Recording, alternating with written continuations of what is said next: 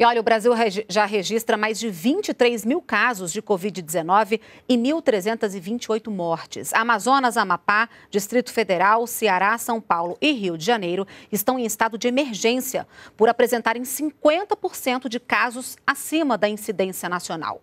E entre as ações do governo para combater o coronavírus está a aquisição de 4.500 novos respiradores de produção nacional.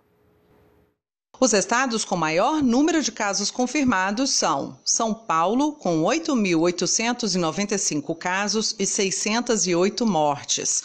Rio de Janeiro, com 3.231 casos e 188 mortes. Ceará tem 1.800 casos e 91 mortes e o Amazonas com 1.271 casos e 71 mortes. E a cidade de Manaus vai receber o reforço da Força Nacional do SUS esta semana. Por causa do número de casos confirmados, a capital do Amazonas alcançou o limite de capacidade de atendimento.